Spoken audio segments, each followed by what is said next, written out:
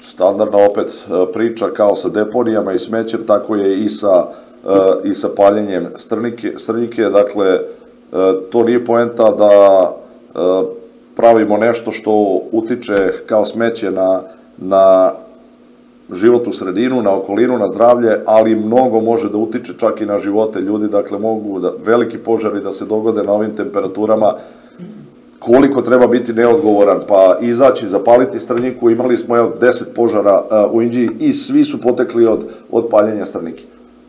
I šta bi bilo sada? Neko je palio strnjiku da je, da je, da je došlo i da je, da je plamen uhvatio groblje na Jarkovcima, bukvalno je bilo na, na 20-30 metara od, od groblja. Ne može se zaustaviti, ljudi na 40 stepeni, nemoguće zaustaviti uh, plamen kada krene.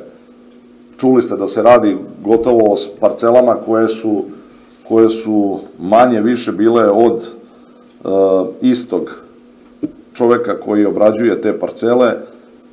Pokušat ćemo da vidimo sa inspekcijom da li tu nešto možemo da uradimo. Imao sam tu pitanja uh, raznih medija šta može da se učini, nažalost ne može da se, ne može da se učini ništa u smislu inspekcije, kažnjavanja, kako znate da, da je baš neko zapalio sam što znamo da je njegova parcela i znamo da, da su oni zapalili, ali neka kaznena vrsta politike apsolutno nemoguće da se sprovede u ovom momentu.